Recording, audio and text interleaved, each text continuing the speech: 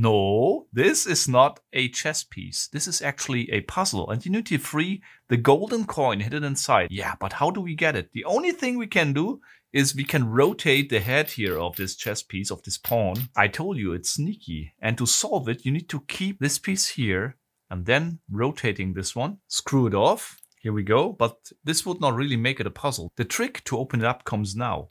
You need to unscrew this screw out of the head and you will notice that this part that was hidden is longer than the other part. So I screw it back on with the shorter part and now comes the clue. I screw it back in with the longer thread until I push a hidden button inside and then I can slide out the sleeve and reveal the golden coin.